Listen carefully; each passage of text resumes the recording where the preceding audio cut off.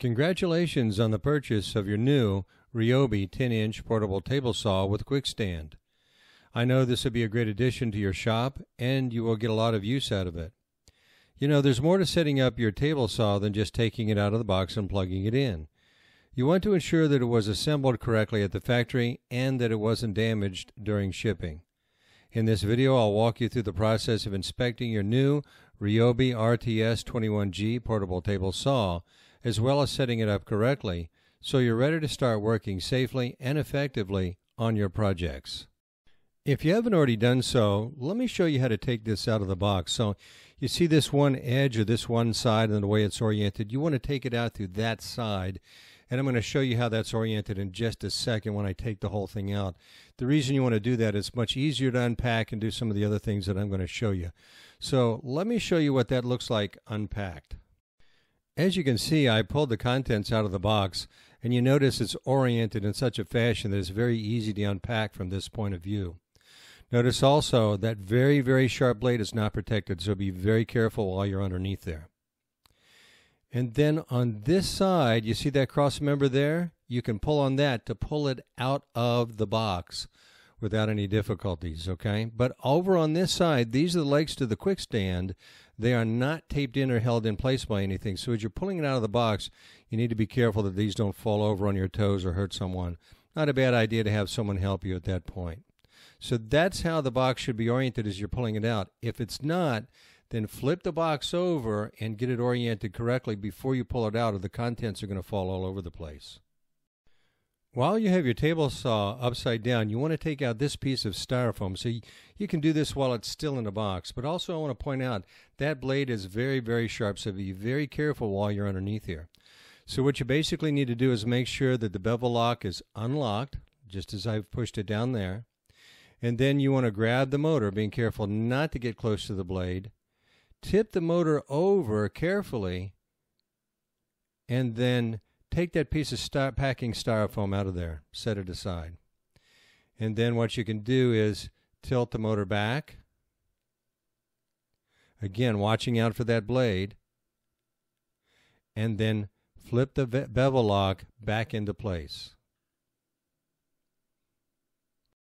Before you get started on assembly, you want to make sure you have all the parts. So let's do a quick inventory. You want to make sure you have the operator's manual plus the yellow uh, power switch key. And then, of course, you have your fence, two wrenches for removing the blade, your blade guard, anti-kickback pawls, miter gauge,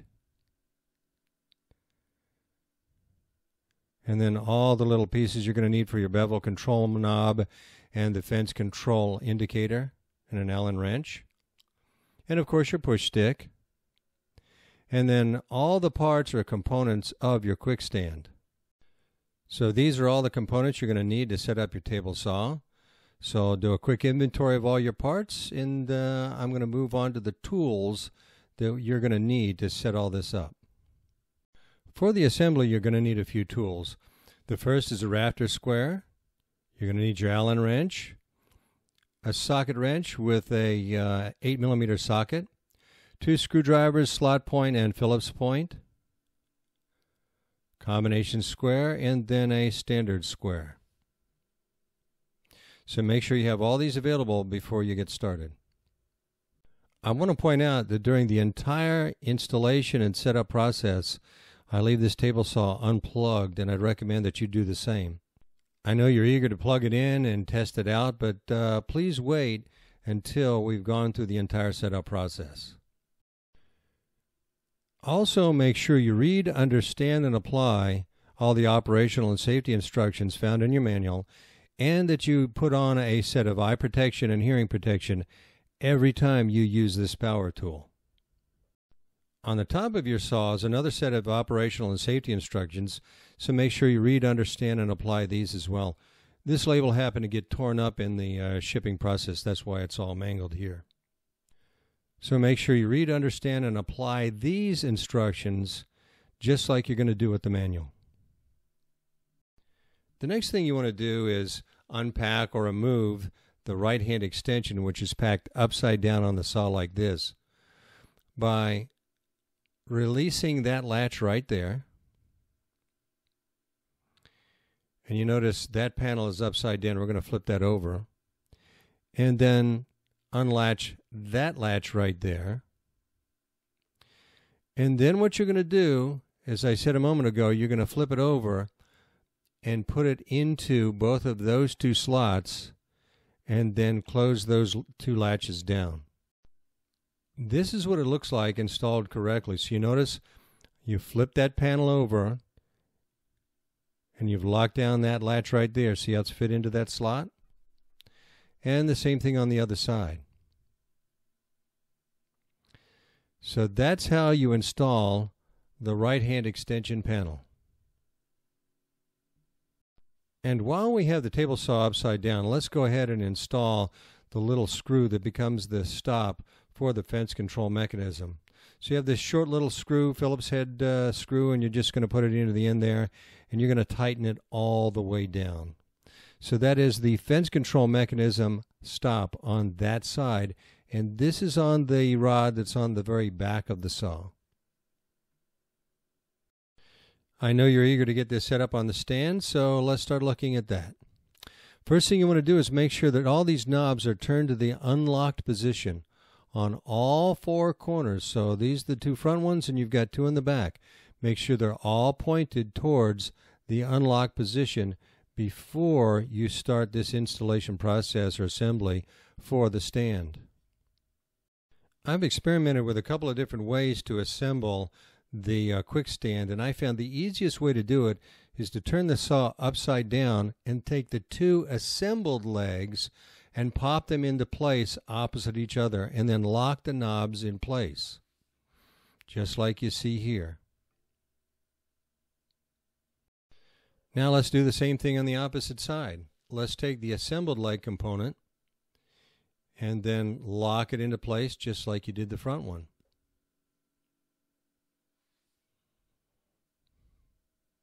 And you're going to have to push up on those little knobs to get them to seat correctly and to lock that into place. But make sure it's nice and firm when you're done. Now let's install the cross members. You'll notice there's a long rod and that goes at the top and then a short one that goes at the bottom. If you're not sure how these fit into place, take a look at either of the two pre-assembled uh, legs that you've already installed to see how they kind of crisscross or go back and forth between the two posts. Now let's take a closer look at how these cross members are put into place. So you see here this one's on the outside of the leg assembly and then this one's on the inside of the leg assembly. If we go over to the opposite side, this one's on the outside. And then again, this one's on the inside. If you're not sure how this goes together, take a look at one of the sets of legs that came pre-assembled. Now that you've set your saw upright on the stand, I want to take a second look at the locking mechanism. So you can see right there it's locked into place on the left-hand side and then again on the right-hand side. You want to make sure these are all locked securely in place on all four corners before you do anything else. And of course, all you have to do is unlock all four and the table saw just lifts right off the quick stand. Now let's get your bevel control knob installed. So there's a control knob with the nut and the washer. The washer will go on the outside of the dial. And you're going to need your slot point uh, screwdriver, which I showed you earlier. And that's going to fit right there in that little hole, again with the washer on the outside. This is what the knob looks like installed. Now you notice the washer in between the knob and the dial. And the knob should spin, but it shouldn't wobble. This is not tightened down all the way, so it should spin and not wobble. So make sure you tighten that down all the way. The next few steps are going to require the blade to be fully deployed. On the dial, it shows you which direction to turn it, which is clockwise, to deploy the blade fully. So crank it all the way up until it stops.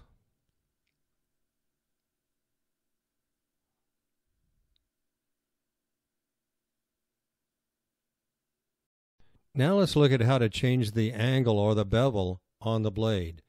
First, you want to release the bevel control lock, push it all the way over to 45 degrees and then lock it back into place. And now you're at 45 degrees to the table. To reverse it, all you have to do is release the bevel control lock, bring it back over to 0 degrees on the bevel control scale, and lock it into place.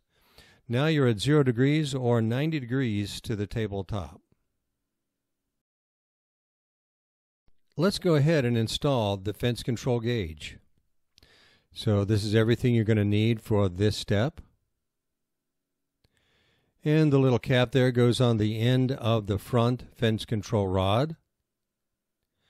And then there's the little gauge indicator.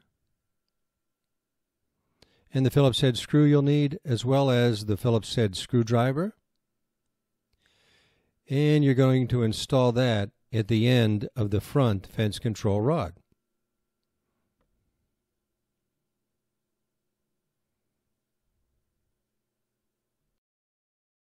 As you can see, I put that little cap on the end of the fence control rod. Now I'm taking the little gauge and putting it down through the slot in the scale and taking that longer screw and putting it through the hole right there and then above that is another little slot. There's a little nub sticking out that you want to have that on there as well. Now, when you tighten this down completely, don't tighten it all the way because you're going to need to adjust that here in just a little bit. So tighten it down, but leave just enough slack so it can be moved later on. Now you want to ensure that the fence control gauge is properly aligned. So you want to pull the extension out to 27 inches, and this should be right at about that location. And you want to make sure that both the front and rear extension bars are pulled all the way out. And the fence is set at 14 inches. And then take a straight edge or a tape measure and measure out 27 inches or whatever the exact measurement is. And that should be from the fence to the blade. And then come back and take a look at your fence control gauge. If it's not exactly on 27. You need to come underneath here, loosen that screw, adjust the gauge, and tighten it back down. And again, you want to make sure this is set at 14. So that's how you make sure the fence control gauge is adjusted correctly. You want to ensure that the fence control mechanism as well as the off-feed table mechanisms are working correctly. So you want to inspect all the scales and all the rods for, again, the fence control as well as the off-feed table. Your push stick can conveniently be stored on the right-hand side of your table. All you need is these last two black screws right here. And notice these are a little bit longer than those that you used with the quick stand. And they just go in those two holes. Make sure you don't tighten them down too much because then you won't be able to put the push stick on there. And of course, you're going to need a Phillips head screwdriver for this.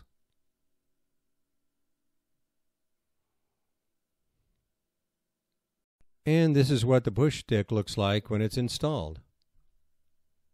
And as I mentioned earlier, if you tighten those screws down too tight, then you won't be able to pop this in there. So you might have to adjust those a little bit to allow the push stick to be stored correctly. The onboard storage for your wrenches and fence are found on the right hand side, just underneath the extension panel.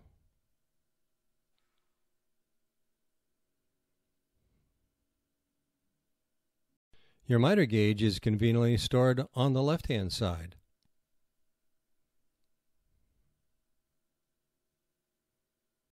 And you can collapse your quick stand and attach it to the back of the saw using these two straps. You want to ensure that your work table has not been damaged or warped during shipping. So take a long straight edge and check from left to right in the back. And then do the same thing in the center. And of course, left to right on the front. Next, you want to use that same straight edge and check front to back on the left side. And of course, the center panel. the next panel over, and then finally on the extension.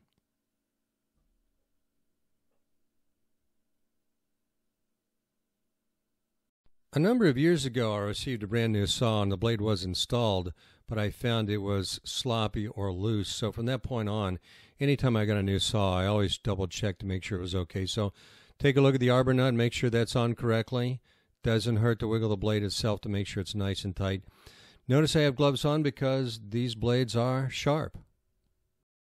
Now we want to verify the gauge on the fence. So as you can see here, I've set it for 8 inches. You can set it for 8 inches or less. Lock it into place, take your scale, measure from the fence to the blade, and it should be 8 inches or whatever distance you selected. But it's got to be 8 inches or less. In this case, it's spot on. If you find you need to adjust, just take that little screw and adjust it till it agrees with your scale.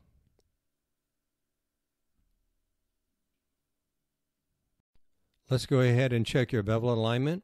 Setting your bevel control all the way to zero as far as you can push it. Lock it into place and then take the framing square that I showed you earlier and then check between the teeth on the blade. Here you can see this one's just a little bit off.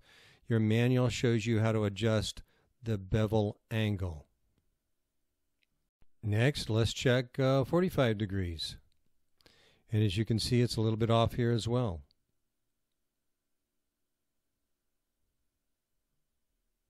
Again, reference your manual for how to adjust the bevel stops. It's important to check the alignment of the blade to the miter slot, and this is called the heel, H-E-E-L.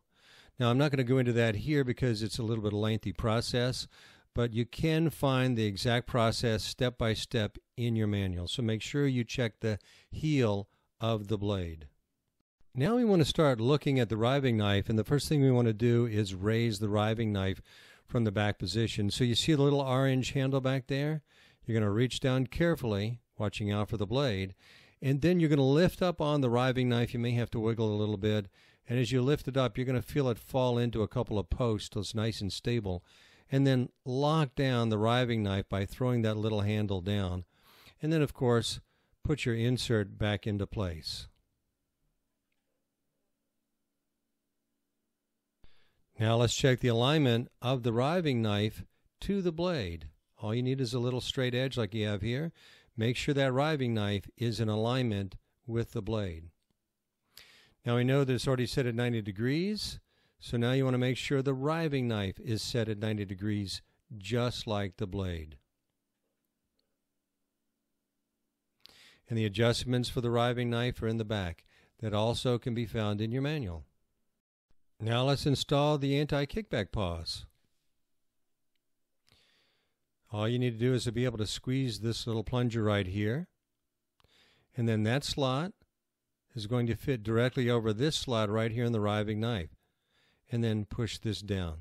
So I'm going to do this twice. So squeeze that plunger, slide it down, and then push that little lever down. And then when you want to take it off, squeeze that plunger, and notice that lever pops up. So let me show that to you again. Squeeze the plunger, set it down, and then push that lever down, and it's locked into place. So that's installing the riving knife. Next, let's install the blade guard. So you see this little bar right here? That's going to slide into this little slot right there. So lift it up, slide it down into that slot, set it down, and pull that lever back into place. Now the guard should be touching the work table. So pull that lever up, lift it out. To reverse it, just put it put that bar back into that slot, let it sit down, and lock it into place. Now let's look at why it's important to have the riving knife in place. So as your workpiece comes forward, if there's any pressure for the workpiece to get caught on any of those teeth which are spinning at 5,000 RPM, it's going to throw that workpiece back in your face, which you really don't want. But if that pressure occurs on the riving knife, it's not going to be caught by the teeth or less likely to be caught by the teeth. Or if for some reason your workpiece is shifting, it's still not going to bind against the blade. It's going to bind against the riving knife, which is what you want to have happen. The anti-kickback pawls are another important safety feature. So as your workpiece comes in and comes underneath the uh, kickback pawl, and notice I'm applying quite a bit of pressure here, it will not allow it to be kicked back into your face. Now these teeth may have a tendency to scratch your workpiece, so if you have a finished side, you might want to turn your workpiece over and cut it from the unfinished side so the kickback pawls don't scratch it. Now let's see how all three of these safety features work together. Your workpiece slides underneath the blade guard, protecting your fingers, comes in contact with the riving knife, and then finally the anti-kickback pawls. So you really have three. You have the blade guard, riving knife, and anti-kickback pawls. And you want to make sure every time you do a through cut, you have all three of these in place. If you're going to be plugging your table saw into an extension cord as opposed to directly into an outlet, you want to make sure you have a 12 gauge or better power cord or an extension cord to plug it into. Something that'll handle the amperage because this is a 15 amp saw. So make sure you get a 12 gauge or better extension cord. And finally, let's look at uh, power switch operation. With the yellow power key put into place. If you lift it up, it stays into place. If you have children in the house, you don't want them to have access to this power tool. Take the key out and hide it somewhere, and it will not operate. It will not turn on. Plug it in, make sure it's nice and tight, lift up, and you're off and running. So that's the power switch operation.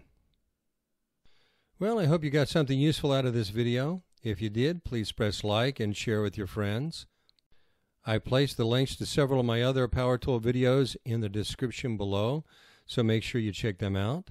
If you're not already a subscriber, I would love to have you as a subscriber.